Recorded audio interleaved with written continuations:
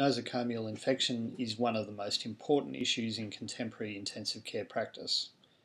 It results in increased health costs, morbidity, and potentially mortality, and most importantly, is potentially preventable. This podcast is designed to demonstrate the principles of hand washing, gowning, and gloving for a sterile procedure. Infection rates in hospitalised patients range from 6 to 9% of hospital admissions in available studies. It is likely, given the greater number of invasive procedures and the relative immunosuppression of ICU patients, that this figure is much higher in intensive care units. Urinary tract infections, surgical wound infections, lower respiratory tract infections, and catheter related bloodstream infections are all heavily represented. Proper sterile technique requires the appropriate equipment.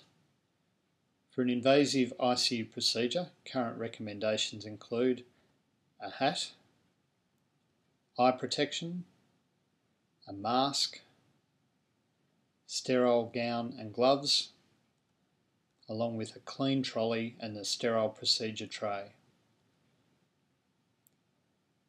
It is important to prepare as best you can before going ahead with the procedure.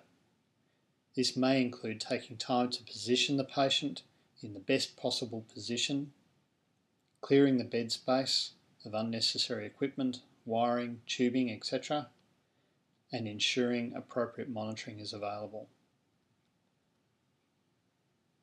Invasive procedures require respect Hand washing technique is an important part and an underutilised strategy for reducing healthcare associated infections. Current recommendations include applying a hat, mask, glasses, etc. prior to hand washing. All jewellery should be removed. Any cuts on the hands should be covered with a clear, sterile plastic dressing Turn on the tap, wet hands thoroughly with water.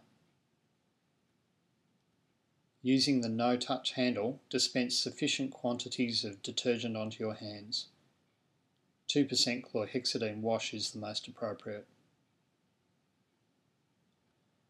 Wash your hands palm to palm, scrubbing vigorously.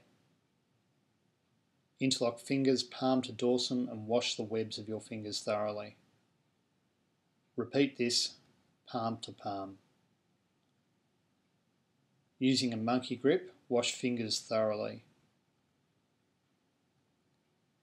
Encircle your thumb with the fingers and palm of the other hand and wash in a rotatory manner. Scrub the nail bed in the palm. And finally, rinse hands thoroughly, ensuring that water runs downwards from sterile to non-sterile areas. Ensure that you have turned the taps off in a sterile fashion. The entire procedure should last no less than one minute for sterile procedures. Using a clean towel, dry your hands thoroughly. Use a separate end of the towel for each hand.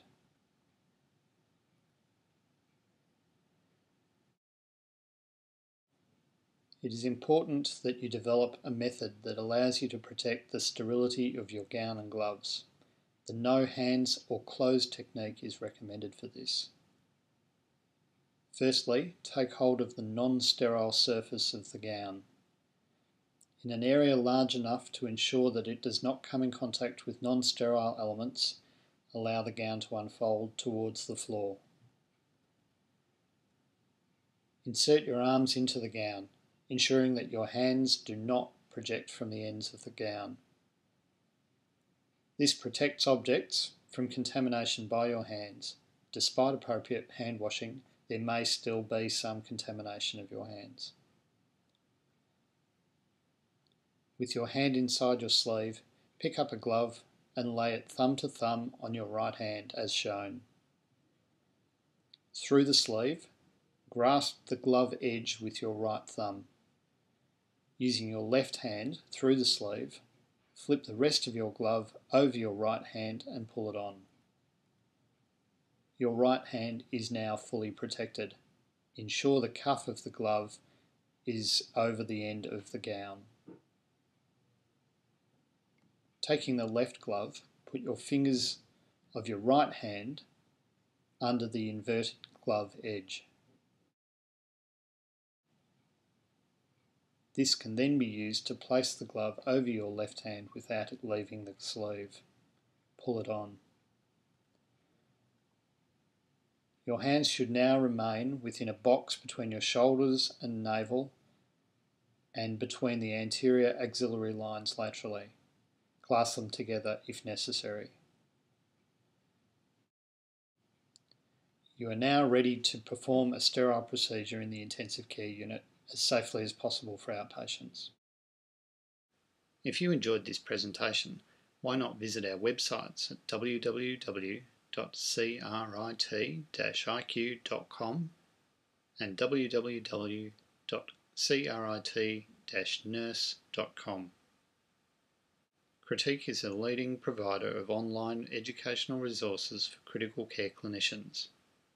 No matter what your level of experience or training, Crit-IQ has something for you. Our regularly updated journal club and podcast interviews will help to keep you up to date with the latest news, while our Echo database and modules teach you new skills. We even have a series of new apps to help you on the go. You can even join our open access blog and have your say on current topics. Crit-IQ, critical for life.